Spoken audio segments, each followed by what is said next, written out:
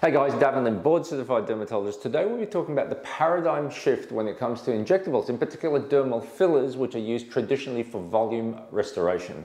So when we're talking about dermal fillers, there are different types, hyaluronic acid versus non-hyaluronic acid. But today I'll give you guys a new concept, and that's basically biostimulation. And why I think this is moving forward from 2023 onwards, where we still employ traditional dermal fillers, but with these new injectables, we can actually improve your skin tightening, skin firmness, without adding too much volume. So guys, let's dive into it. What are biostimulators, are biomodulators? Basically, they are a group of injectables that are used to enhance the amount of collagen production together with hyaluronic acid and elastin in your skin. So as we age, after the age of 20, you basically lose between 1 to 1.5% of collagen every year. It gets worse because when women hit menopause or the premenopausal years, they lose up to 30% of collagen within five years. And when this happens, you've got the evidence of skin aging. Essentially, it's skin laxity, uh, appearance of fine lines, wrinkles, enlarged pores, as well as droopy, saggy skin. So, in the context of bioremodeling agents, what we want to do is to treat patients early to compensate for the age-related decrease in collagen production, as well as collagen loss because of degradation due to intrinsic aging, in other words, aging which is pre-programmed as well as extrinsic aging, which is basically aging due to UV radiation as well as environmental pollutants, for example, cigarette smoke or pollution itself. Now, here's a concept. When you go to see a dentist, usually it's one of two things. Firstly, maintenance, and secondly, symptomatic. Symptomatic management is basically when you see a dentist because you've got a toothache. You go over there because you want something corrected. The second reason most people go see their dentist every year is basically prevention. In prevention, what you want to do is to reduce the amount of plaque buildup, which means it decreases the chances of decay and decreases or even mitigates or eliminates the chances of you going to see a dentist to treat a problem, i.e. correct that toothache. So it's exactly the same now. What we want to do is we want to provide patients with an avenue of biostimulation so that the reason to visit a dermatologist, plastic surgeon, or cosmetic physician is less because what we want to do is mitigate the age-related decrease in collagen production. And this is how we do it with injectables. So what it means is that you may still benefit from correction of volume due to deflation of the deep fat pads as compared to reduction in the dermal as well as your subdermal areas of collagen.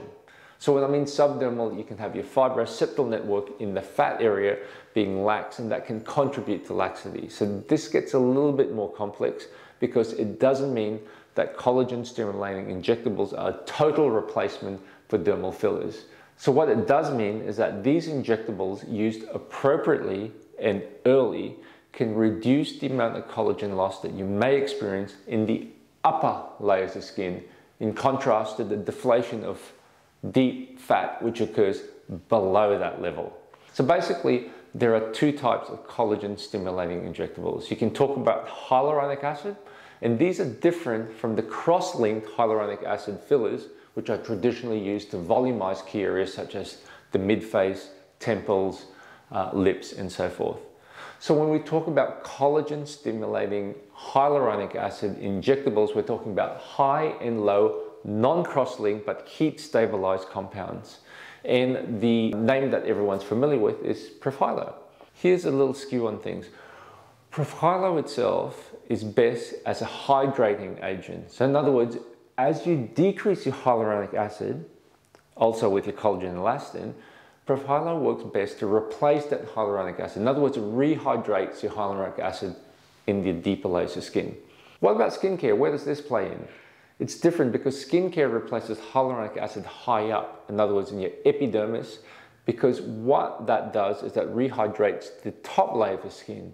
When we're talking about injectables, we're talking about the bottom layer of the skin, whereby the skincare itself, just because of the sheer molecular weight of the hyaluronic acid, cannot penetrate through the basement membrane down to the deeper dermal layers. So, for most patients over the age of 40, the use of something like Profhilo, high and low molecular weight hyaluronic acid is non-negotiable because you've decreased your hyaluronic acid in the deeper layers of skin.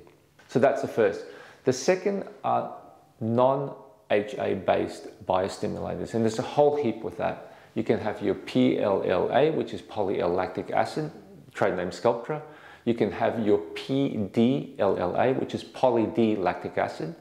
You can have your things, for example, your CAH or calcium hydroxylapatite. So all of these are established players, and they all have a different avenue when it comes to improving your skin laxity because some may give you more volume and some may give you more skin tightening. But what they do ubiquitously is they increase the amount of inflammation in your skin and has will provide fibrosis or collagen formation. Another few players into the market include your PCL or polycaprolactones, and with that they're usually two injectables, an older one called Ellansé and a newer one called Gouri. The latter is more liquid, the former has more particulate sizing. So one is more towards volume and one is more towards skin tightening. The downside about these new injectables is that generally speaking, they provide a little bit more inflammation. It may be harder to modulate if you're not too experienced with injectables. So guys, there's a new injectable called polynucleotide. And polynucleotide, trade name Rejuran, is relatively new in Australia. However, this has been well established in countries such as Asia or continents such as Asia for the past three to five years. Now, what it is, is basically DNA which is made from salmon, salmon gonads. It's invented in Korea, and what happens is that this is placed in the upper layers of skin, the very superficial layers of skin, and it can act as a scaffolding of which cells, for example, like the fibroblasts, can proliferate and build in collagen. So when you look at all these injectables, they have a play, they have a role to play in regards to skin rejuvenation. Some of them are more hydrating, that's your hyaluronic acid. Some of them cause more skin tightening, for example, your polycaprolactones. While some of them cause both tightening, but also some volume, and those are the established players like your poly L lactic acid and your poly D L lactic acid, as well as your calcium hydroxyl apatite.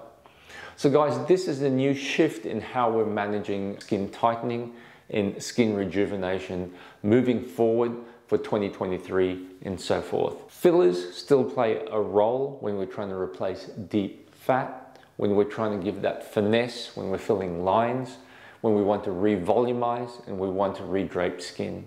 However, collagen stimulating fillers or collagen stimulating injectables, they're a whole new realm of which you maintain your skin on a yearly basis. So that, much like going to a dentist, can actually reduce or even prevent your visits to a dermatologist so that it can decrease the amount of skin tightening that you may require later on in life.